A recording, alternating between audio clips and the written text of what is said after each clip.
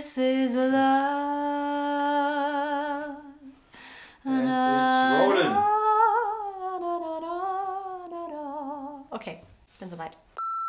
Die einen lieben ihn, die anderen wollen auf gar keinen Fall, dass ihr Kind einen bekommt. Es handelt sich um den guten alten Schnuller. Ich habe heute die Vielfachmama und YouTuberin Laila bei mir virtuell zu Gast und gemeinsam wollten wir heute einfach mal ein bisschen darüber sprechen, welche Vor- und Nachteile es hat, einen Schnuller zu benutzen und wie unsere eigenen Erfahrungen mit dem Thema damit waren. Wenn euch das interessiert, dann bleibt jetzt dran und ich wünsche euch ganz viel Spaß mit dem Video.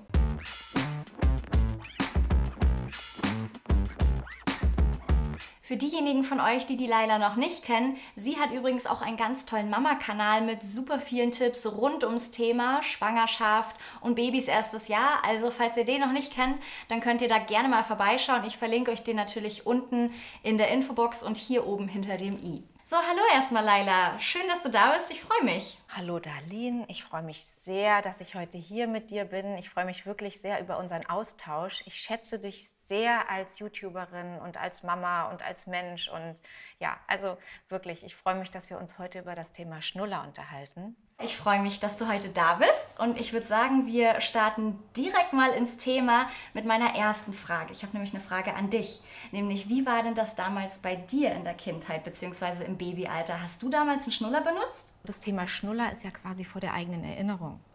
Und mhm. ich wusste es tatsächlich auch nicht. Ich musste mich wirklich ja. erstmal mit dem Thema auseinandersetzen, hatte ich einen Schnuller oder hatte ich keinen. Mhm. Und interessanterweise ähm, wusste das auch meine Mutter jetzt gar nicht so richtig. Also sie hat... Ähm, sie hatte wohl einen, ich hatte auch ein bisschen einen, aber nicht so, nicht so doll, nicht so richtig mhm.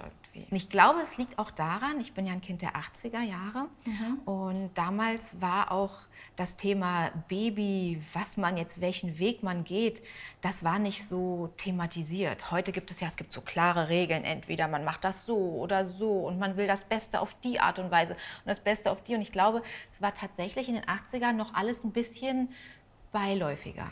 Mhm. Es war, ich glaube, man hat sich nicht jetzt die großen Gedanken gemacht, ob das jetzt das Richtigste und Wichtigste ist. Mhm. Ich habe mich auch gefragt, woher dieser Trend kommt und ich glaube, das mhm. stammt wahrscheinlich schon daher, dass es früher so beiläufig passiert ist und dann im Nachhinein viele Familien, Einzelpersonen oder dann auch die groß gewordenen Kinder festgestellt haben, hm, war vielleicht nicht so ideal, wie zum Beispiel ich muss immer bei Schnuller an die Story von meiner Oma und von meinem Papa denken. Ja. Die waren nämlich beides passionierte Daumennuckler. Und du hast ja in mhm. einem Video ähm, über Daumen mal gesagt, dass die Kinder ja automatisch irgendwann den Daumen nicht mehr benutzen, weil sie die Hand für andere Dinge brauchen. Aber bei den beiden war das so drin, dass sie vor allem in Situationen, wo sie irgendwie Bücher gelesen haben oder äh, sich was angeguckt haben, im Bett immer wieder so den Finger reingemacht haben, dass bei meiner Oma sich richtig der Kiefer verschoben hat. Also der geht richtig so nach vorne. Und auch bei meinem mhm. Papa beobachte ich das immer noch, dass wenn er am Computer sitzt oder beim Fernsehen, dass er automatisch gegen die oberen mhm. Schneidezähne drückt. Und mhm. auch noch im Erwachsenenalter, jetzt meine Oma, die ist 83, ist es immer noch so drin, dieses Urverhalten, was sie sich in der Kindheit angewöhnt haben.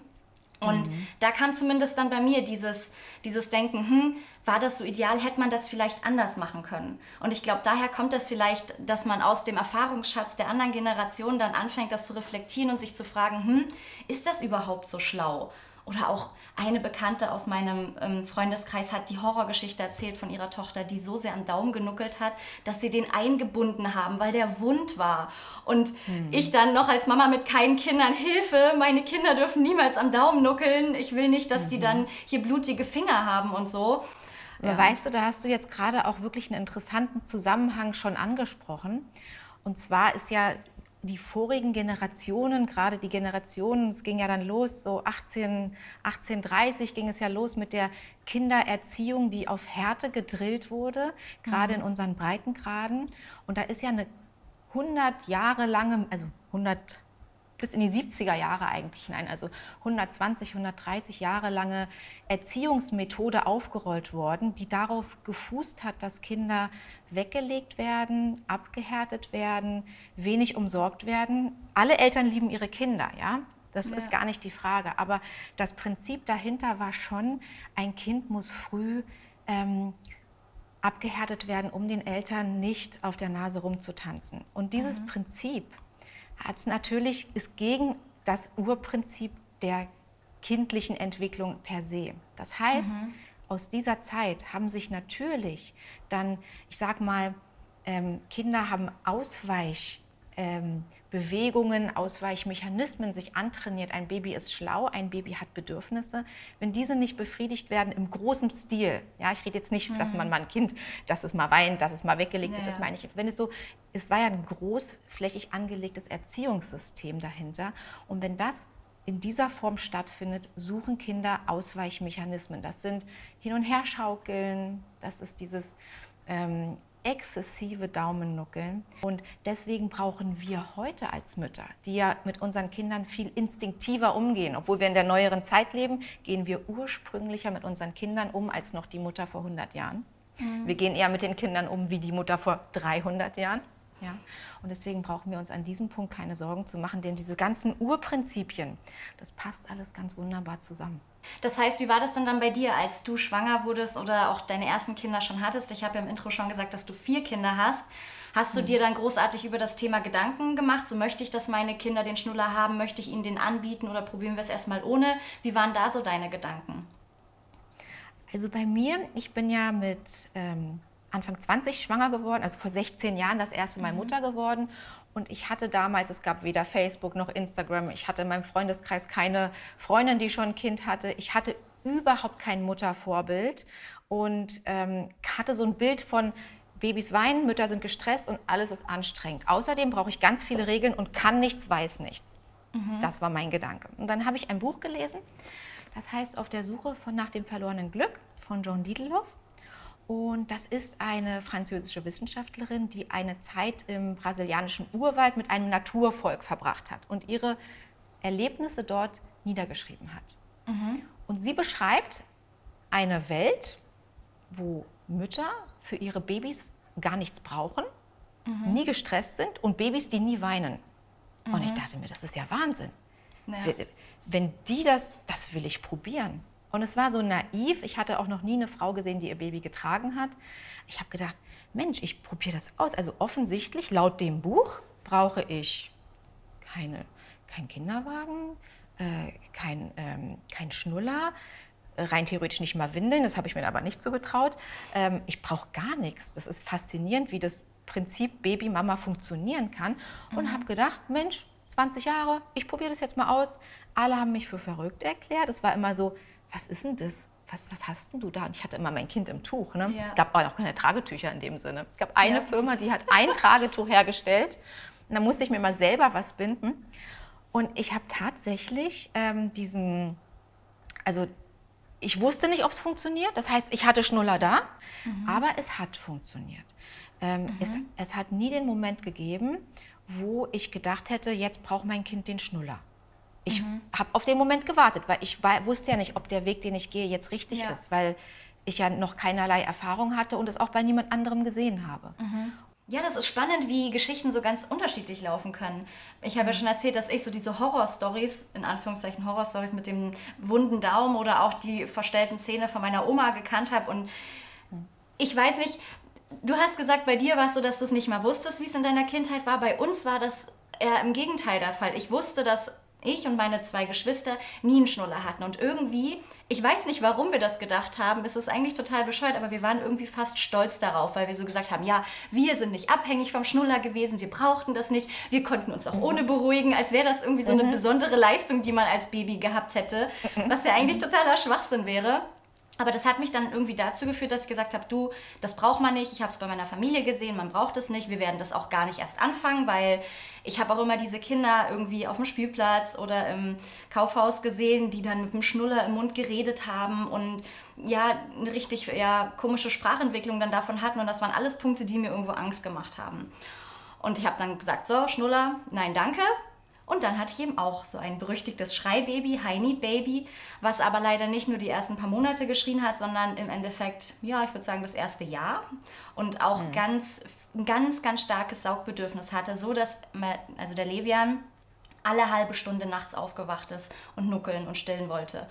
Ich war quasi nur so ein lebendiger Mensch gewordener Schnuller und ich habe das irgendwann einfach nicht mehr ausgehalten. Ich bin auf dem Zahnfleisch gelaufen und habe dann gesagt, okay, ah, dann probieren wir es mal mit dem Schnuller. So, ich halte es einfach nicht aus. Und dann haben wir es probiert und es hat super funktioniert. Und auch als er dann älter wurde, habe ich gemerkt, ist das fast wie so ein Ausschalter bei ihm geworden. Er ist irgendwie so auf den Schnuller konditioniert worden, dass das mit Kuscheln und Schlafen zu tun hat, dass er dann in Situationen, in denen er total überreizt oder übermüdet war oder einfach total aufgedreht war und ich in den Schnuller reingesteckt habe, wie so auf Knopfdruck runtergefahren ist. Richtig dann so und dann auch super eingeschlafen ist. Und ich weiß, ich hätte mich oder habe mich auch in der Zeit davor ohne Schnuller extrem gequält.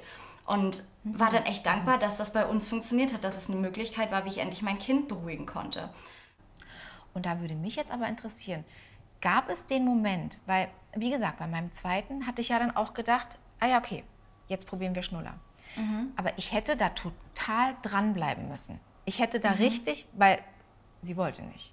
Ne? Mhm. Und da muss man wahrscheinlich eine Hürde übergehen, oder? Also beim Levian war es tatsächlich so, weil ich ja erst mit ein paar Monaten dann mit dem Schnuller angefangen habe, ich glaube, da war er dann wahrscheinlich drei Monate oder so, ähm, dass er den ziemlich schnell angenommen hat.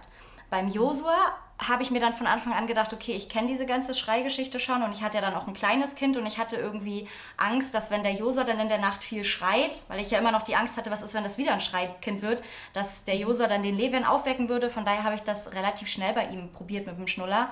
Und gerade bei den ganz kleinen Babys ist es schon so, dass die den noch nicht so gut halten können, noch nicht so gut ansaugen können und so. Und da erinnere ich mich schon an ein, zwei Nächte, das war nicht lang, bis er das gecheckt hat, aber wo ich immer mal so einfach so den Finger so dagegen gehalten habe, weil er sonst alle zwei Minuten wieder rausgefallen wäre. Hm. Ähm, ich habe mir dann gedacht, ich hätte es vielleicht auch einfach anders probieren können, aber ich war immer noch so traumatisiert von, ja, von der ersten Zeit mit Levian, dass ich gesagt habe, nee, der braucht auf jeden Fall einen Schnuller. Ich halte dieses Schreien einfach psychisch nicht mehr aus.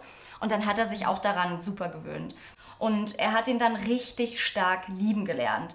So stark, dass es mir dann schon fast ein bisschen zu viel wurde und ich mir überlegt habe, Mann, wie werde ich den Schnuller denn jetzt wieder los? Das ist nämlich so die andere mhm, Geschichte. Mhm. Weil wenn man mit mhm. dem Schnuller nicht anfängt, dann äh, muss man sich darüber keine Gedanken machen, wie man den wieder los wird. Und ich habe immer so Geschichten gehört von wegen, ja, der legt den dann automatisch weg oder man geht zum Schnullerbaum und hängt den hin und dann fragt das Kind nie wieder danach. Mhm.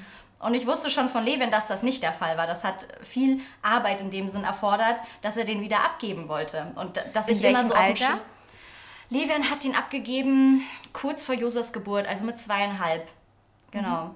Und ich dachte mir dann, ja, das ist ein Alter, die können schon laufen, die können schon sprechen. Und ich wollte auch dieses mit dem Schnuller im Mund sprechen einfach verhindern, ähm, weil der Levian auch eh sehr spät erst mit dem Sprechen angefangen hat. Und ich wollte ihm dann nicht noch weitere Stolpersteine irgendwie in den Weg legen, sodass ich dann immer aktiv gucken musste, ah, ich mhm. nehme ihn dann mal wieder weg. Und nur wenn er wirklich mhm. doll weint und danach fragt, dann gebe ich ihn dem vielleicht wieder. Und bei Josa war es dann genauso. Ähm, aber ich glaube, dass ich ihm den Schnuller im Endeffekt zu früh weggenommen habe. Er hatte dann ein Kuschelkissen und ein Kuscheltier. Ich zeige euch das mal. Ich werde das jetzt auch mal hier in die Kamera halten. Das ist dieses Einhornlama. Das ist mhm. jetzt vorm Waschen. Das ist echt eklig, weil er das überall mit hinnimmt. Und er hat dann angefangen, ich meine, ihr seht dieses Horn hier, wie das aussieht. Das ist total abgenuckelt. An den Öhrchen hat er gekaut, am Schwanz hat er gekaut, sogar an den Füßchen. Und ich finde das so eklig und so unhygienisch, dass ich mir dachte, im Endeffekt, Mann, hätte ich ihm doch lieber den Schnuller gelassen. Der wäre um einiges hygienischer, weil ich kann ja nicht jeden Tag dieses Kuscheltier waschen. Und habe mir dann im Endeffekt Ach, echt gedacht, Mensch... Du brauchst ich mein, doch keine Gedanken mit der Hygiene machen. Das ist gut für Kinder, wenn die Keime aufnehmen. Aber ab und zu so, wenn es anfängt zu stinken, dann sollte man dann schon mal waschen. Daran habe ich gemerkt, dass das Saugbedürfnis bei ihm noch nicht weg war. Vielleicht wäre das besser gewesen, wenn ich ihm den Schnuller mhm. noch gelassen hätte. Aber es war irgendwie so dieses Bild, was ich hatte, ey, ein Kind mit zweieinhalb, drei Jahren, das sollte doch keinen Schnuller mehr haben. Und jetzt hinterfrage ich das auch. Ist aber auch schade, oder? Ja. Das ist mhm. total schade, dass man sich diesen Druck von außen macht. Weil Ganz eigentlich genau, ja. ähm, äh, also ein Kind mit 18 wird keinen Schnuller mehr haben. Ja? Mhm. Das ist eigentlich total egal, wann es den loslässt. Mit 1, mit 2, mit 3, mit 4. Es ist ja wie mit dem Trockenwerden. Mhm. Und ähm, deswegen ist es auch total toll, dass du das Video machst und dass du das jetzt auch so sagst, weil so wird es vielen Müttern geben. Und damit muss, muss einfach Schluss sein. Ja? ja.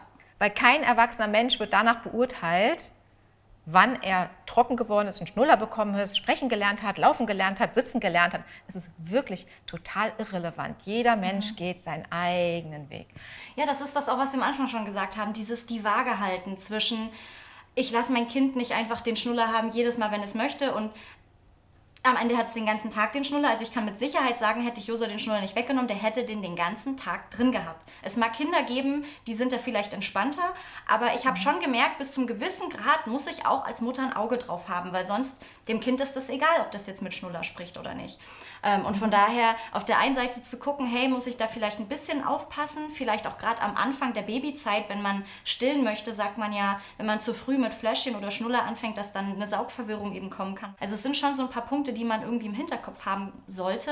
Aber ich finde es auch wichtig, wie du gesagt hast, dass man sich nicht wahnsinnig machen lässt von irgendwelchen mhm. Nachbarn oder Schwiegereltern äh, oder Bekannten, die sagen, nee, das muss aber anders und was du machst, das immer noch so, weil damit ist niemandem geholfen. Und ich glaube, mhm.